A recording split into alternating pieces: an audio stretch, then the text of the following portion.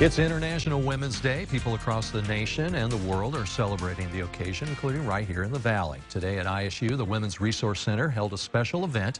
Office members handed out flowers and inspirational phrases. It's a day to empower women and recognize the many accomplishments of women in our world.